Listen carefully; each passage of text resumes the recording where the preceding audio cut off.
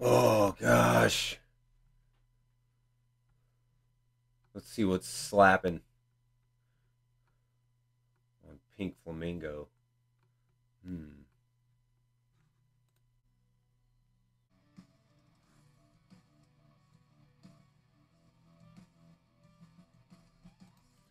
Oh man. I wish I could solo on that. But you know what? I think I have an idea. See, part of the problem is that uh, when I'm going through my feed on YouTube and I'm wanting to uh, maybe record on something or practice, use something for practice purposes to play back, record my guitar soloing, things like that, uh, what I run into is I cannot get the audio from this awesome video made by my friend Jonathan at Electric Flamingo. Check him out. Uh, onto my DAW. So the idea occurred to me today that um, I actually do have that capability, and it comes in the form of this little bad boy right here the Fender Mustang Micro. It's a headphone amp, got a USB jack and a headphone jack, and this goes into your guitar. When you are recording with this into your phone, you use cables like this. And you Bluetooth from a separate device like this into here for your backing track. And then you use these cables to plug it into your phone. And while you're recording on camera, your phone camera will just pick up what's in this. And that includes the backing track. And the feature that is best in this is that the backing track comes in at a level volume in your headphones and you adjust the volume of only your guitar to get a proper blend in the mix.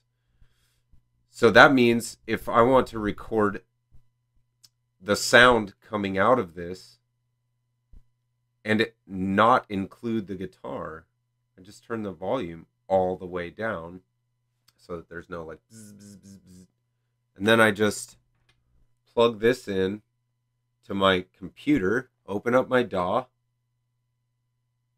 and record whatever I'm Bluetoothing into this thing. So that's what I'm going to do now.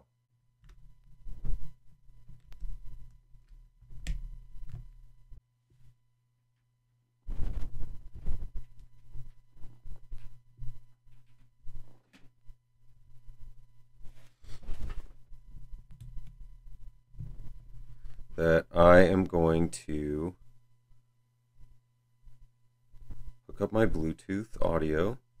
Oh, and right there, I am Bluetoothed into the Fender Mustang Micro Home. So now I'm going to open up YouTube, go to my subscriptions, find Electric Flamingo.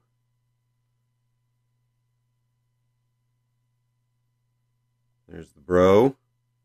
We're going to go find the Bogren contest video that we want to use.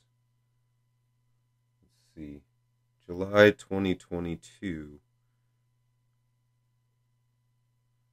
So, backing track is so sick. Okay.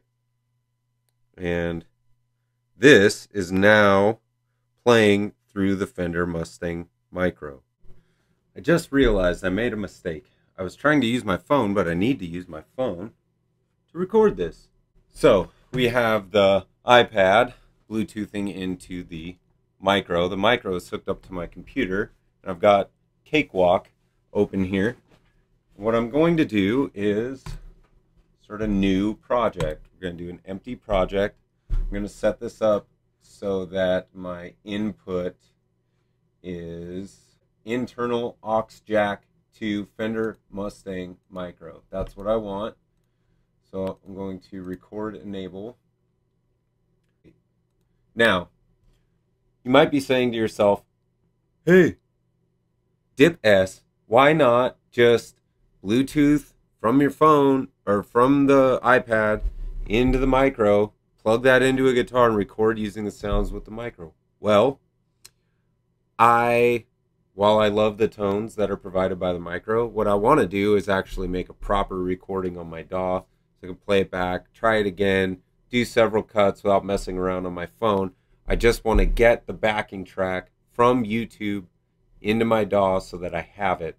And that way I can record, re record, try 4,500 times to make a decent solo that goes over top of what Jonathan did on that song. And um, this is all for the purposes of recording. So I saw a video by uh, John Nathan Cordy. If you uh, don't watch his channel, you should. He's a phenomenal guitar player. What I found out was at the end of his video, sometimes he would leave uh, tracks for you to jam over top of where he plays the rhythm. Or uh, my guy Robert Baker on YouTube I watch his videos. Sometimes he's got these little intro riffs that you he just plays rhythm and you can just jam over top of it. And what if you want to record something? Well, this gives you that capability. So we're going to do it this way just for the purposes of recording into a DAW. So I've got that all set. And if I press play on my iPad, ideally we'll start getting some sound. And you can hear it coming through my monitors. Got some Edifier speakers here. So I want to record this now that I know everything's working. So I'm just going to hit record. Just wait.